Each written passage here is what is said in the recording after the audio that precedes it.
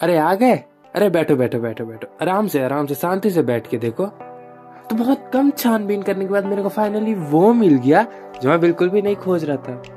हाँ ये वाले रील्स आय हा सुकून ही, सुकून। और ले ले ले ले क्रिएटिविटी के लिए पूरे दस नंबर, लेकिन हम रील बनाते हैं ना। खून और दिल दोनों बिना चीर फाड़ के निकल आता है। इसमें लॉजिक कहाँ है? बाकी काम अजय देवगन करेगा। भाषाएँ रंग रूप है जुदा जुदा पर हमारी जुबा है एक जुबा केसरी। विमल बोलो जुबा केसरी। तुम्हें क्या लगता है दुनिया में सबसे ज़्यादा ज़रूरी क्या है? सांस लेना अबे हट। अबे ऐसे रील पे एट द रेट को टैग करना। तभी तो इंस्टाग्राम हर दो रील के बाद ये रील डाल देता है और वो दो रील भी इससे जुड़े होते हैं। पिछले दो साल से इंस्टाग्राम से मेरा सवाल है, पिछले दो साल से ये जो बकचोदी चल रही है tag your at the rate two three four five लंड लसन आई जोलो जाइज टू अपोलो जाइज माई बैड गाली नहीं देना था मुझे। मतलब ये तो ओले ले हो गया।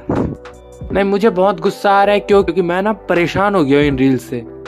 मैं सुकून से रेसिपी वाले रील्स देख रहा था और अचानक से ये आदम का कसम से पकवान देख के मेरा लार गिरने वाला था, वो भी नहीं गिरा। बुरा ये लगा कि चौथे नंबर पे जो है ना, वो मेरा बहुत ही खास दोस्त है बट वो एक लौंडा है। और मैं उसे जानता हूँ कि उसकी गर्लफ्रेंड भी है। इसका मतलब वो ईट से ईट बचाने में कोई भी शौक नहीं रखता है। और जिस सातवें एट द रेट को तुम गाली बकने को बोल रहे हो ना, वहाँ पे एक फीमेल फ्रेंड महिला मित्र विराजमान है। और मैं फेमिनिज्म का शिकार होना नहीं चाहता। एक टाइम था जब रील्स में लॉजिक नहीं पर अच्छे म्यूज़िक ज़रूर मिल जाते थे लेकिन अब तो इनकी पैनी कमेंट्री आ जाती है ना। जैसे ये बोल रहा है कॉपी करके।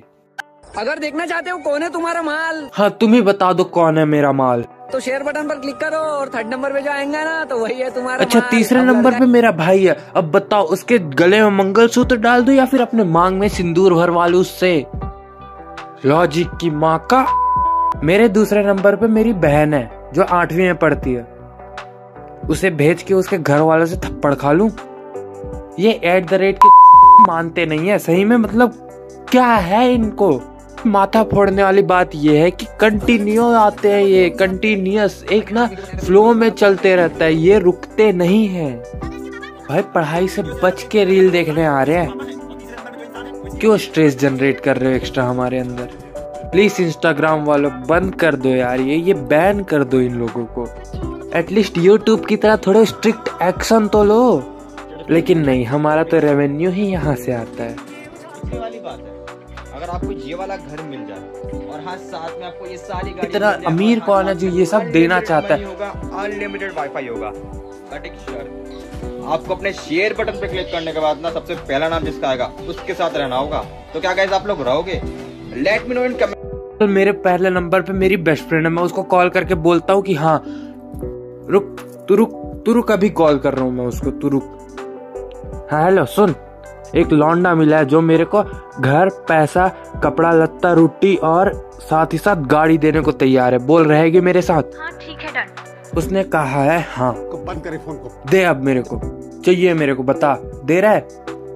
हाँ बट ऐसे उछलते उछलते ना कुछ रील ऐसे आ जाते हैं जिनपे इससे ज़्यादा गुस्सा आता है। कि ये ऐसे अजीब से आइडिया लाते कहाँ से हैं?